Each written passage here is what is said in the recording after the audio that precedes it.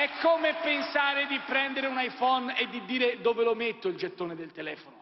È come pensare di prendere un giradischi e metterci la chiavetta USB.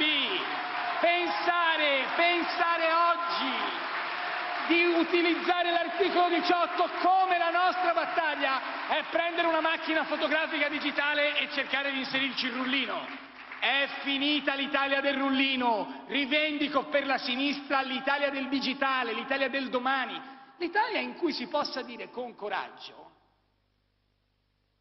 e anche con determinazione che le forme di tutela non possono valere soltanto per quelli che hanno più di 15 dipendenti.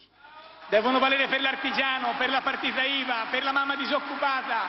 La maternità è un diritto per tutti, non solo per chi è garantito.